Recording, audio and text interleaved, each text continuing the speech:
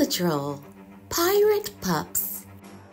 One day, while exploring the cliffs above Adventure Bay, Captain Turbot slipped and fell down a dark hole. At the bottom, he discovered an old pirate hideout. He was stuck in the creepy cavern, but he knew who could help him the Paw Patrol. Ryder called the Paw Patrol to the lookout and told them about Captain Turbot. He's stuck in a cavern filled with pirate stuff, and he thinks it might be the hideout of the legendary Captain Blackfur, Ryder said. No one knows what he looked like or what happened to his treasure. Ryder needed Chase and Rubble for the rescue, but he told the rest of the pups to be ready just in case. Rubble was excited. He really wanted to be a pirate. Ryder, Chase, and Rubble raced to the cliffs and found the hole. Chase, Ryder said, I need your winch hook to lure me into the cave. Chase is on the case. He pulled the hook over, and Ryder locked it onto his safety belt. Chase carefully lured Ryder into the dark hole. The pups joined Ryder and Captain Turbot down below.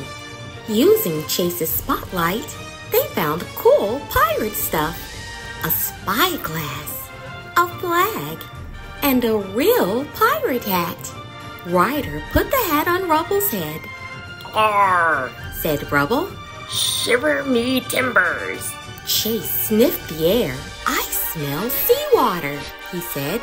He followed the scent and discovered a secret passage.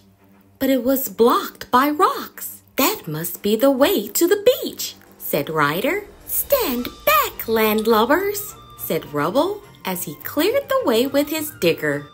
Ryder and the pups followed the passage to a beach. They found an old bottle with part of a map inside it. Is it a pirate treasure map? Rubble asked. Could be, said Ryder. We need all paws on deck to solve this mystery. Ryder called the rest of the pups to the beach and told them that the map had been torn into three pieces. There's a clue to where we'll find the next piece, he said. The part of the map that you seek hides in the big parrot's beak. The pups thought about the clue. Suddenly, Rocky said, Those boulders at the bottom of Jake's mountain kind of look like a parrot. Let's check it out, Chase barked. The team hurried to the rocks that looked like a giant parrot. Sky flew up and found a bottle in its beak. Another piece of the map was inside. Rocky taped the pieces together and Ryder read the next clue. From atop Parrot Rock, look toward the sea. A clue hides in the hollow of a very big tree.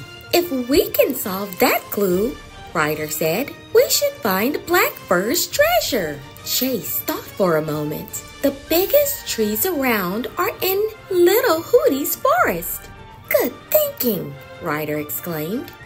The forest was filled with lots of big trees, so Chase asked Little Hootie if he had seen an old bottle in any of the branches. He had.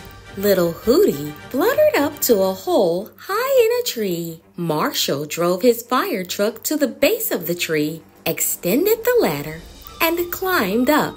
Little Hootie was right, he said. He took down a bottle that contained the last piece of the map.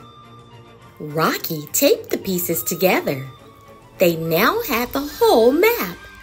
Ryder read the final clue. Walk 20 paces from the tree toward setting sun and rising sea.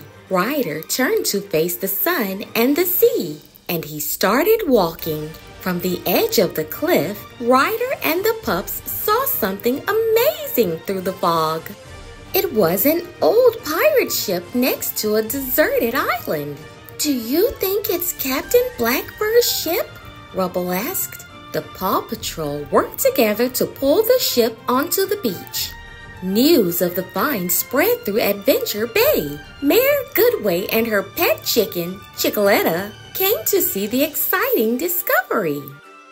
On board, Ryder, Captain Turbot, and the pups found an old treasure chest. Inside were coins, jewels, a gold bone, and even a fancy dog bowl. Why would a parrot captain have a dog bowl? Marshall asked. Then, digging through the treasure, Ryder found an old picture of Captain Blackfur. Captain Blackfur was a pirate pup. He looks just like me, except with a black fur beard, Rubble exclaimed. The team let out a mighty Arr! Three cheers for the pirate pups of the Paw Patrol.